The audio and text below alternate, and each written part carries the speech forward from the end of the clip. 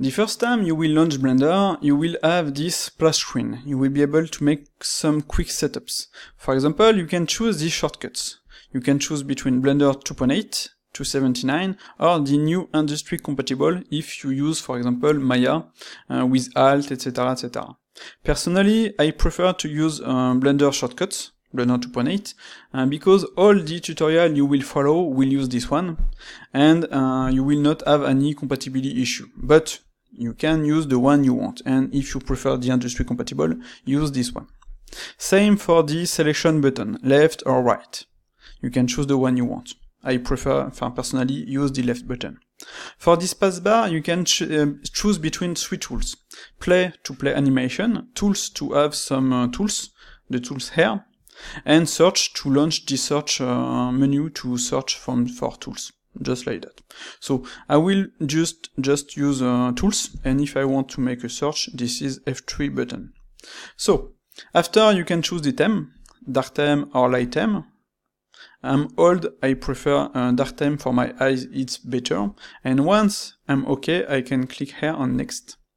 And I will be able to create a new file, general, do the animation, sculpting, VFX, video editing. I can also open a file or recover last session. This one will be uh, each time you will launch Blender, so you will be able to choose what you want, and you can get rid of it if you want in the add-on preferences.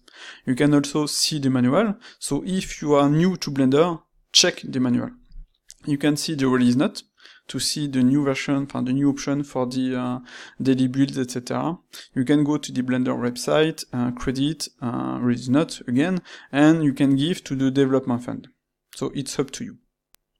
Once you're okay with your setting, you can click to get rid of this splash screen. But if you want to show it, you can click on this button here and you can choose splash screen. And as you can see, you have some other uh, options.